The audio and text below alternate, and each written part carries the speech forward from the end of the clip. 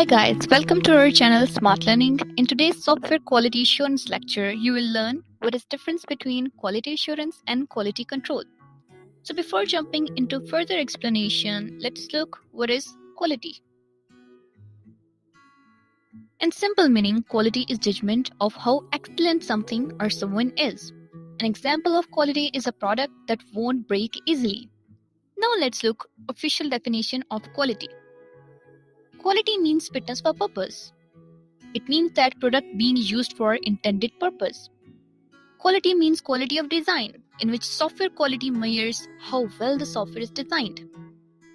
It means quality of conformance, how well the software conforms or meets to that design. Customer satisfaction.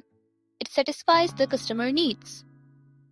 Now let's look what are the main elements of quality. Quality planning, quality assurance, quality control, and quality improvement.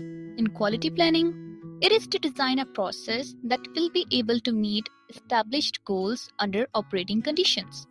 Whereas in quality assurance, it is a process oriented and focuses on defect prevention. In quality control, it is product oriented and focuses on defect identification. Whereas quality improvement continues is a continuous improvement regarding strategies, processes, commitments, and performance.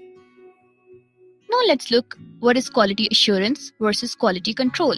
According to ISO 9000 standard 2015, quality assurance and quality control both are part of quality management, whereas quality assurance focuses on providing confidence that quality requirements will be fulfilled whereas quality control focuses on fulfilling quality requirements. Now let's look the differences of quality assurance and quality control. So the focus of quality assurance is on preventing the defects, whereas focus of quality control is identifying and fixing those defects. Orientation. Quality assurance is process oriented, whereas quality control is product oriented. Duration. Quality assurance is medium to long-term process within the product design process, whereas quality control is short-term activity and usually happens at the final stages when the output is produced. Responsibility. Quality assurance is the responsibility of whole team, whereas quality control is responsibility of testing team. Statistical techniques. Statistical techniques applied on quality assurance is statistical process control, whereas statistical technique applied on quality control is statistical quality control.